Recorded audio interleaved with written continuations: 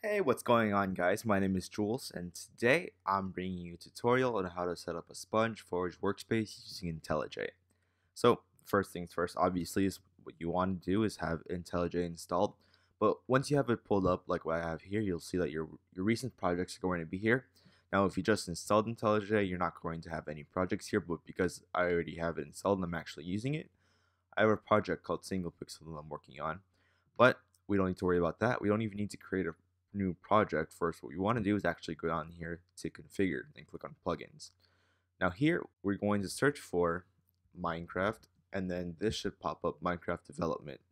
Now I already have it installed so for me it says uninstall but what you want to do is install the plugin and click OK. So once you have the plugin installed you're going to create a new project and then on this left hand side you're going to see a couple of options that you have, but we're going to want to click on Minecraft and make sure Java 1.8 is selected. And then to set up a Sponge Forge workspace, we just need to select Sponge and Forge. Click Next. Make sure the option where it says you're using both APIs are being used. Click Next. And then now we're going to set up our group ID. So our group ID is usually com dot your first name and last name if you don't own a website. If you do own a website, you're still going to start with the ending of it. So whether it's .net, .com, .org, you're going to start off with that. So it's going for me. I have a website called juleslabador.com. So we're going to go to we're going to type in com.juleslabador, and then your artifact ID is going to be the name of your plugin. Now I don't recommend using spaces in here just in case uh, any problems are come up in the future. So for here we're going to call it uh, setting up Sponge Forge workspace. Click next. So here the plugin is actually going to choose the settings up top for us. It's going to choose a Forge version, uh, an MCP version, and a Sponge API version. And so what I found is that we actually need a description, an author, and a website.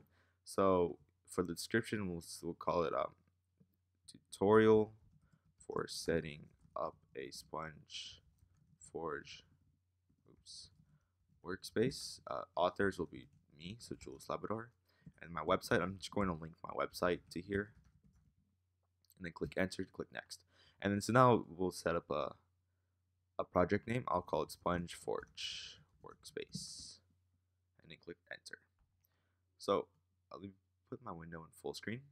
So right now it's setting up the project. It's making sure that everything is in order as well as setting up Gradle. And so Gradle is actually being done for us using this plugin, so we don't have to do anything with that. So I'm going to let this run in the background and I'll get back to you guys as soon as it's done. Okay, so now it's done importing everything. So after that's happened, this window is going to pop up. And this is allowing us to make sure that Sponge is actually being imported. Both Sponge and Forge actually are being imported into our project. So make sure this box here selected use auto import. That way everything is automatically imported for us. Again, make sure you're using Java 1.8 and then click OK. Oops. There you go. It looks like I didn't have, yeah, weird. Anyways, so what this is doing now is it's downloading and installing into our projects, both Sponge and Forge. And you see it didn't take too long. But now if you look into our build.gradle, everything here is being used. Well, that's all for the video. You've successfully set up both a Sponge Forge workspace. If you have any questions, be sure to leave them down in the comments below as I'll try to answer them to the best of my ability. If you liked the video, please leave a like or if, found, if you found it informative or helpful in any way, also leave a like. Uh, really appreciate that and uh, I hope to see you guys soon. Peace.